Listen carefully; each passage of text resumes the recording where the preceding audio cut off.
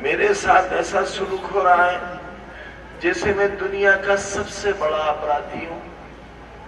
میں سب سے بڑا آتنکوادی ہوں، ٹیررسٹ ہوں۔ میں دیش دروہی ہوں خدار ہوں۔ شاید سلطانہ ڈاکو کے ساتھ، مان سنگھ کے ساتھ وہ سلوک نہیں ہو رہا ہوگا جو سلوک اس وقت میرے ساتھ ہے۔ مجھے اگر بس چلے سرکار کا اور انتظامیہ کا،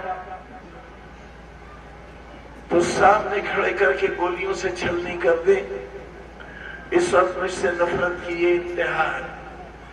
گناہ میرا صرف یہ ہے کہ جو بات آپ محسوس کرتے ہو، میں اسے کہہ دیتا ہوں۔ اس کے علاوہ میں کچھ نہیں کرتا۔